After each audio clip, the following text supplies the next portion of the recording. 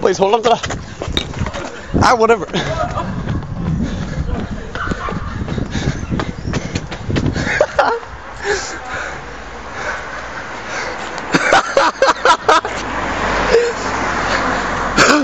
Now